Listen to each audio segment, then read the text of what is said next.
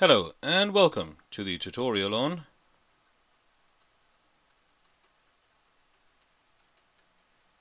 subtraction of a six-digit number and ten thousands. So what we mean by ten thousands is 10,000, 20,000, 30,000 up to 90,000. So let's have a look at the question we're going to be working through.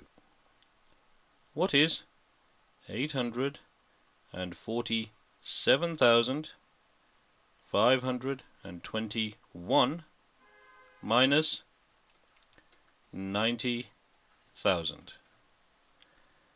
So that is our question. I'm sure one or two of you, or some of you, may be able to do this using the horizontal format. However, for the purposes of this exercise, we are going to do this using the vertical format. So let's do this over here. 847,521 minus, now make sure you get this right, 90,000.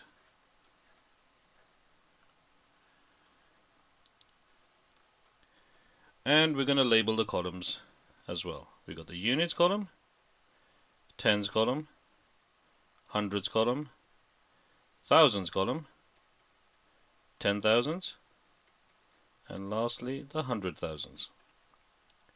So we have completed stage one, which was to rewrite the question from the horizontal format into the vertical format.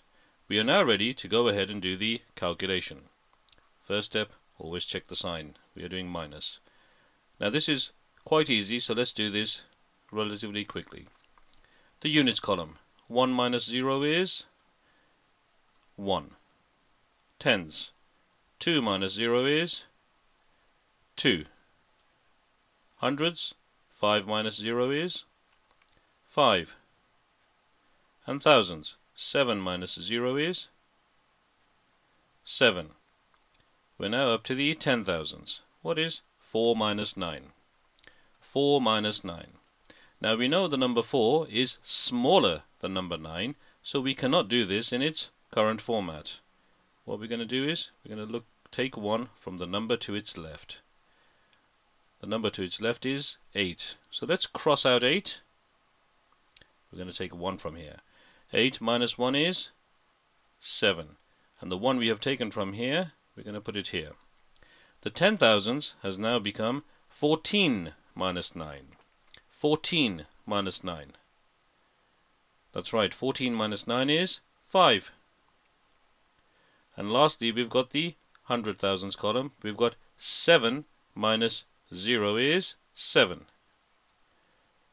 It's as easy as that. Our answer is 757,000 521. That is correct, so let's give it a nice big tick. So that is how we do subtraction of a six-digit number and ten thousands using the vertical format.